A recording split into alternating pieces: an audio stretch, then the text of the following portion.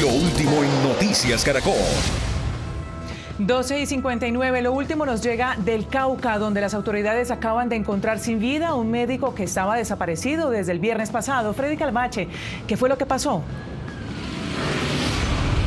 Hola Ana Milena, muy buenas tardes. Pues mire, termina la incertidumbre después de cuatro días para familiares y compañeros de trabajo del médico Sebastián Reina Narváez, quien se había desaparecido desde el pasado viernes.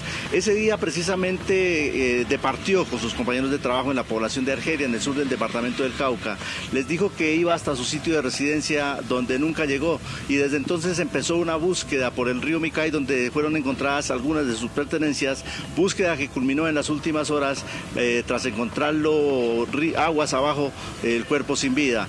A esta hora las autoridades pues inician los actos urgentes para tratar de investigar cuáles fueron las causas, por qué cayó el médico al río y esta noticia fue confirmada hace pocos minutos aquí en la ciudad de Popayán por César Sánchez, que es el gerente de la S Suroccidente, ese a la que estaba afiliado, a la que pertenecía mejor el médico, eh, el médico que se encontraba desaparecido.